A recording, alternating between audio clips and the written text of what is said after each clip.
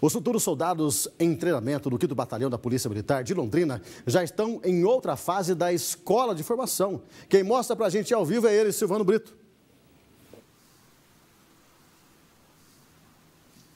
Olha, Cid, tem três barracas armadas aqui no 5 Batalhão, no campo, né, bem em frente ao comando do 5 Batalhão. Essas barracas, essas tendas, elas são para abrigar os 51 alunos que estão em formação no curso de soldado.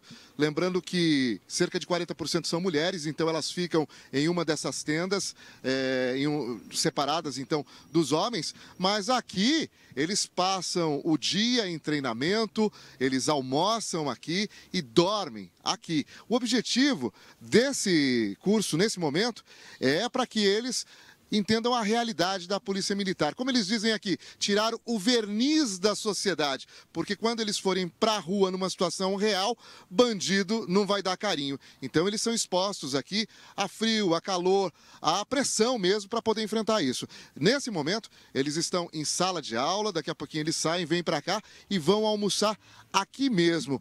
O Coronel Vila, comandante do 5 Batalhão, explicou para a gente a respeito, então, dessa fase e de outras do curso de formação de soldados. Estamos indo né, é, progressivamente inserindo na concepção deles princípios e valores que norteiam as atividades de um policial militar. É, eles estão num processo de imersão, ou seja, conhecendo o regulamento, como funciona o sistema de hierarquia e disciplina né, sabendo sobre quais são as disciplinas da grade que são é, indispensáveis para a sua formação e, enfim, adquirindo aquilo que é importantíssimo para quem combate criminalidade e dá segurança à população, que é o espírito de corpo e sentimento de solidariedade. Então é importante que nós avaliemos isso nesses alunos nesse momento e que nós façamos com que eles se engajem nesse propósito de doar a si próprio para proteger a, a, a sociedade. Olha lá, os alunos acabam de sair da sala de aula nesse instante, Cid, eles estão se concentrando ali no pátio. É, essa formação é antes do almoço e tudo aqui é muito rústico. Como a gente falou, é tirar o verniz da sociedade as tendas foram montadas por eles próprios. Só para a gente mostrar aqui como são essas tendas, não tem luxo nenhum não, tá? E não é piquenique de final de semana, não é diversão não. É bem rústico mesmo, ó. Pode ver que não tem colchão, não tem nada, aqui só estão os objetos desses alunos, né? Os objetos pessoais, roupas, blusas de frio, e é o que tem aqui.